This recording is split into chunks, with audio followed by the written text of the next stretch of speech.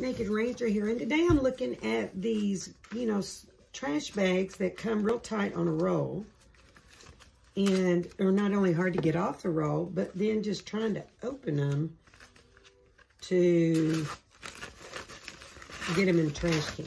So, and these are the small ones, like for a bathroom.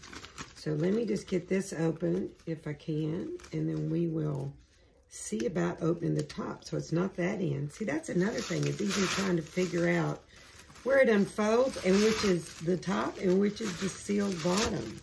So as I hold it up, I can see a little tiny seal line on there. So that means that it's going to be on this end.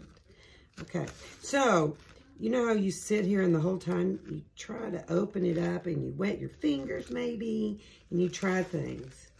So, of course, I've heard this way, where you rub it, rub it, rub it, rub it, rub it, and that does not open this. So I'm going to try snapping my fingers.